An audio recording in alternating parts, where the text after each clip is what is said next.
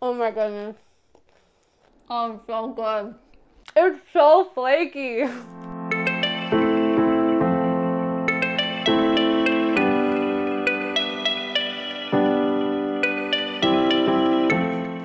What's up? It's Kat and Dev from Two Market Girls. Welcome back to another vegan recipe. And today we are making a highly anticipated recipe, at least from Kat. So you should all be just as excited that it has finally arrived. Now, I have been working on this recipe for months.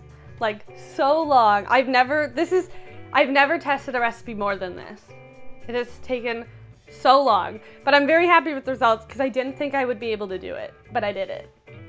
Yeah, see, like it's such a triumph. It's such a victory because not only is it super delicious, but you put so much work into making it happen, and now we all get to enjoy it, and I'm just so excited. And also, what's even more exciting is that I was doing a lot of research and I have not been able to really find a vegan version of these yet. So I'm very excited to be able to bring these to the world of veganism because we've been missing out. All right, Kat, tell us all about them. Okay, so I made something called pastizzis. Pastizzis are a Maltese pastry um, that's basically like, I don't really know how to describe the dough. I think it's most similar to like a strudel dough, kind of, mm-hmm. in like the making and all that kind of stuff. But a very flaky dough with one of many fillings. The filling that is my favorite is the one I did today, which is a ricotta filling. And it is so good. This is like something that I have grown up eating like forever. And when I, I remember specifically when I went vegan, I was so sad because I was like, I'll never be able to have these again. Because like they are like traditionally filled with like so much lard and fat and all this kind of stuff that vegans cannot eat. But then I don't know what happened. Like earlier this year, I was like, you know what? I just want to make them vegan. I'm gonna figure out how to do it. So I did it. I love it. And I was hearing about it for so, so long. And now I finally make them made them too, but I feel like we should just get into the recipe, right? Definitely. All right, make sure you're subscribed to the channel, but we gotta go make this. It's a process, but it is so, so worth it. So to make your vegan pastizzi, we're first gonna start off by making a combination of butter and shortening. So we're using vegan butter and some vegetable shortening. We're going to add them to a bowl and just using a fork, mash them together and mix them until they're all combined. This is what's gonna give our pastry its nice flaky layers. Once that has all been mixed, you can set that in, in the fridge until you need it. Next up, we're going to make our dough to a stand mixer with a dough hook. We're going to add in some all-purpose flour and salt and just kind of mix that until it's all combined. Then we're going to add in some olive oil and a little bit of water and then mix that using the dough hook. And with the mixer on medium to low, we're going to slowly add in the remaining water until you get a smooth, not sticky dough. The trick here is you want to be able to knead the dough on a work surface without having to put any flour on it. So it needs to be not dry, but not sticky. If you're seeing that the dough hasn't really come together, there's still some loose flour, just add in a quick like sprinkle of water, not too much because you don't want this dough to be sticky. Just add in a little extra water if needed. Once the dough has come together for the most part, you're going to turn that out onto a clean surface and then knead it for just a couple minutes until it's nice and smooth. Now, if you're noticing that it is sticking to your table, this dough will be, it's too sticky to make pastizzi, so you'll have to add a little extra flour. Or if you're noticing that there is still some dry flour and it hasn't all been incorporated in and it hasn't created this nice smooth ball, add in just like a sprinkle of water on your, from your fingers.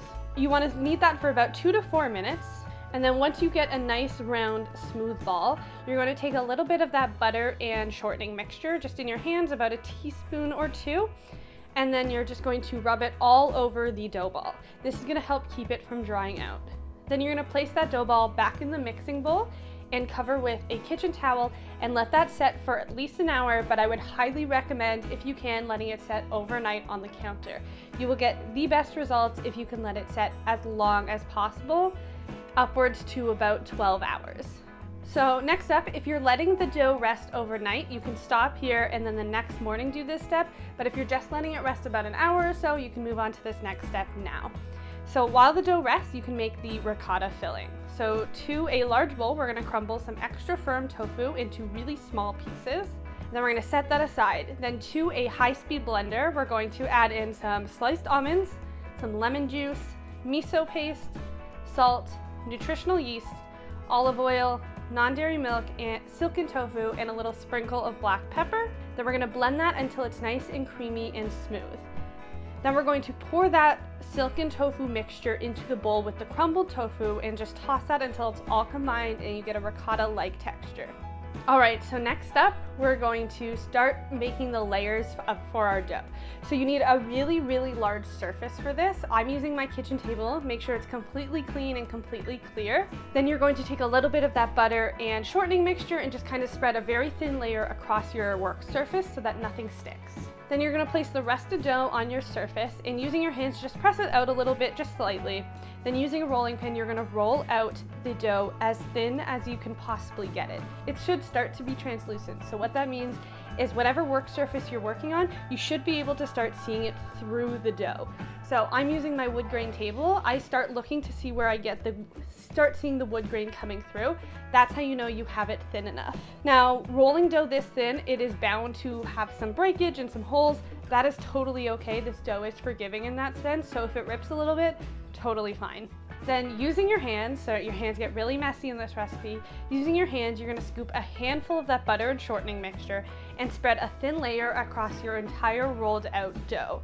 Edge to edge, you should have no part of it that doesn't have butter and shortening on it. Then starting from one end, you're going to slowly roll the dough into a pinwheel like you would do cinnamon rolls, but you wanna pull and stretch the dough as you roll it. Again, if holes start forming because of this, that is totally fine. What this does is essentially gives you as many rolls as possible and gets the dough as thin as possible so you get really nice, crispy, flaky layers.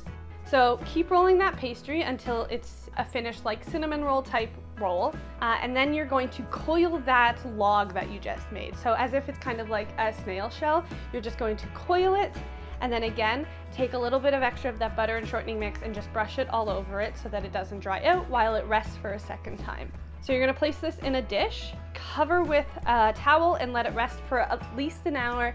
And if you can do longer, do it. I made, I let mine rest for about an hour and a half to two hours. All right, once your dough has fully rested for at least an hour, you're gonna start preheating your oven to 400 degrees Fahrenheit while you get the pastizzis ready for the oven. So what you want is to cut the dough into about one and a half inch pieces, one, one and a half to two inch pieces, and then you're gonna start rolling out your dough. So there's a very traditional way of doing this. I am really bad at the traditional way of doing this, so I have come up kind of, not with my own method, with a method that I've seen somebody else do that was much easier for me to do, and I got the look and layers that I really wanted. So basically what I did is I used two pieces of parchment, one on the bottom and one on the top. And then I added, I added a chunk of the dough that I cut, that one and a half inch piece, put it on one of the parchment pieces, then put a second parchment piece over top, and squished it down into a disc with my hands. And then you're going to take a rolling pin and roll it out even thinner, making sure those edges get super thin and stretched out without making any holes in it this time. You want it to be pretty big so that you can fold the dough over on itself when adding the filling. So really get that nice and thin, not as thin as we were doing it when we rolled it out initially, but thin enough so that it's about a quarter of an inch ma thick max. And then again, it might it might recoil back once you let the parchment paper off. That's totally fine. You can stretch it out with your fingers a little bit or use the table to your advantage. So what you want to do once you have it up, you want to look for the side that has the most beautiful spiral in it. So you can start seeing the layers and put that face down. You want the least nice coils inside. That's going to be the in, where you put the filling. So then you're going to put a scoop of your ricotta filling that you just made in the center, and then you're going to take one side, fold it over the ricotta filling, and then take the other side and fold it over again, and pinch the ends together. Then you're going to repeat that until all your pastizzis are made. This should make about 20 pastizzis, give or take. You're gonna place those on a lined baking sheet, and then using a brush, you're going to brush on more of that butter and shortening mixture just over top so that they get a nice deep golden brown color. And then we're gonna place those pastizzis in the oven to bake for at least 25 minutes. You really want them to be a deep golden brown and make sure they're cooked all the way through so you get really delicious flaky layers. Then you pop them out of the oven and you're done. These are best enjoyed fresh. If you don't think you'll eat the whole 20 in the same day, I would highly recommend either having the batch from the beginning or once you get to the stage where the pastizzis are formed, before baking them, just place those in the freezer and let them freeze entirely. And then when you want a pastizzi or two, you can take them out and bake them right from frozen.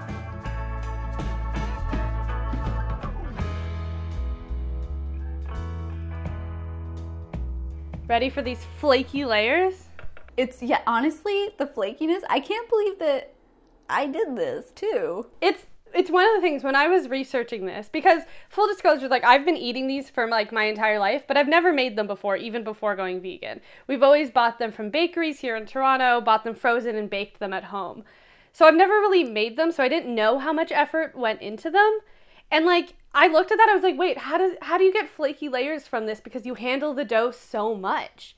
And I was so confused, but honestly, it is they're so good. Like I've never been prouder making a dough before. Oh, so excited. Okay. Ready? Let's see. Yeah. Oh my goodness. Oh, so good. It's so flaky. Oh, they make me so happy. This is my childhood, Devin. This is like this is the definition of my childhood. It's like perfectly flaky, and then I love when I get to the filling too. Mm. It's so good. Now, again, full disclosure, they're not the most beautiful looking pastry, like my version of them.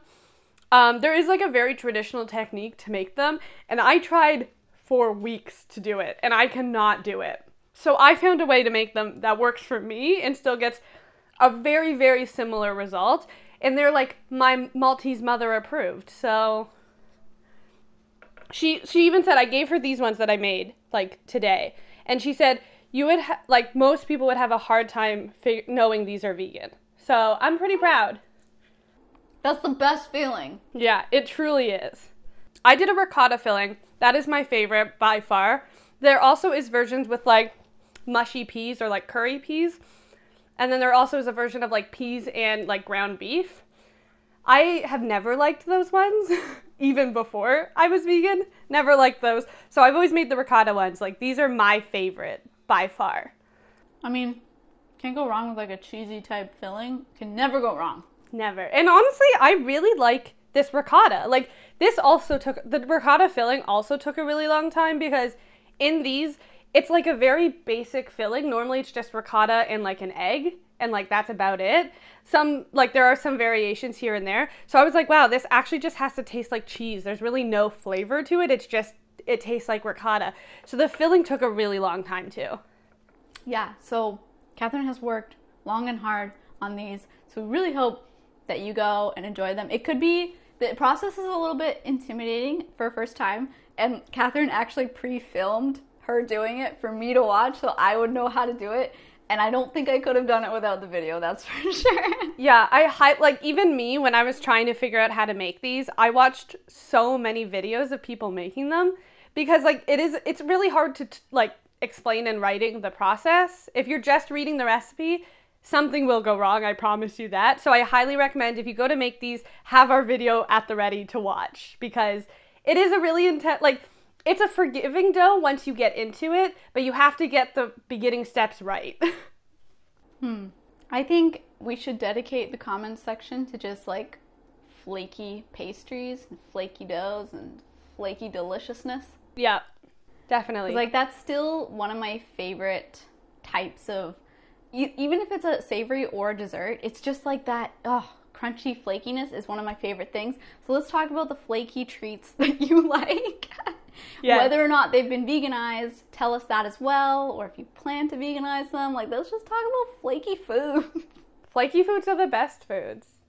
Also, I really want to know if anyone's ever tried pastizzis before, because again, like Maltese food isn't necessarily big everywhere. It's decent, like like a lot of people know it in Toronto because there's a large Maltese population in Toronto.